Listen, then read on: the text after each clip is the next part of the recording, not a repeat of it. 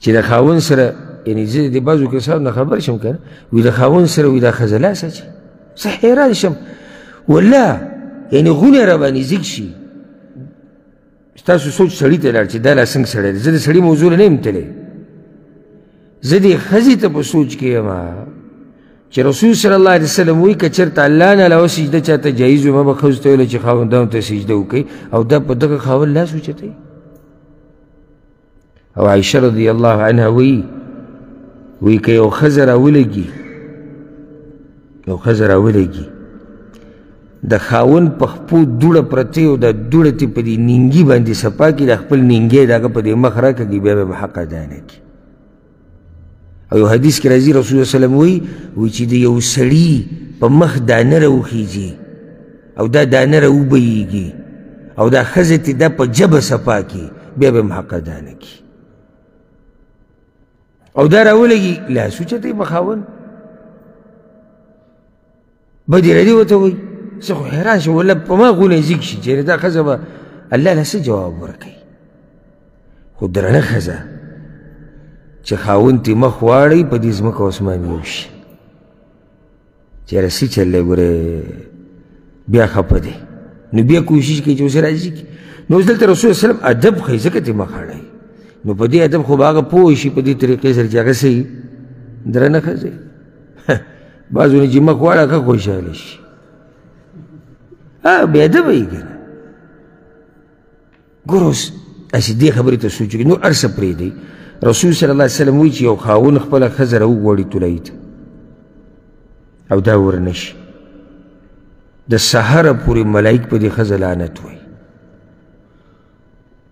دا وړه خبره دا غټه خبره ده نو چې دا خاوند تې خپه شي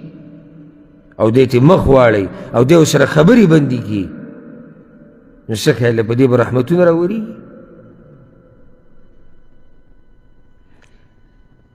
نو الله دې رحم وکړي دا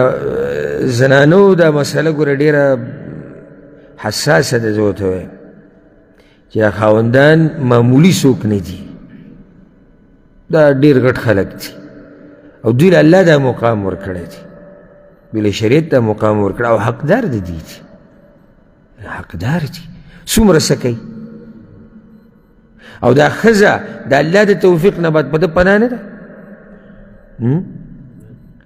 دی صادر نه دی او چې دا خاوند ترې مړ شي که دی هر څنګه وي که په داسې حال کې چې بد حال یې ودغې خو هغه ښځه بیا ټولو ته په ډاکې شي نو رسول صلی الله علیه وسلم مخ واړو د ام سلمه نه څو پیري دوه پیري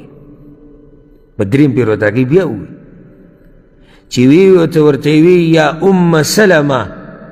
د حدیث ګره امام بخاري امام مسلم راوړی ای ام سلمه لا تؤذیني فی عائشه د عائشې په باره کې ما مه تنګوئ فإنه والله ما نزل علي الوحي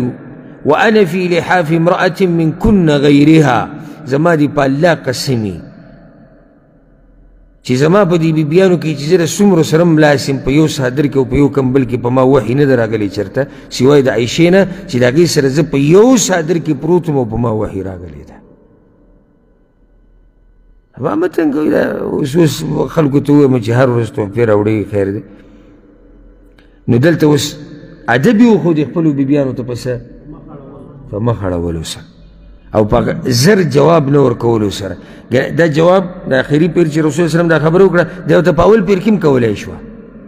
خو په اول پیر کې ورته ونه کړه ها کله به ادب په دې طریقې سره ورکو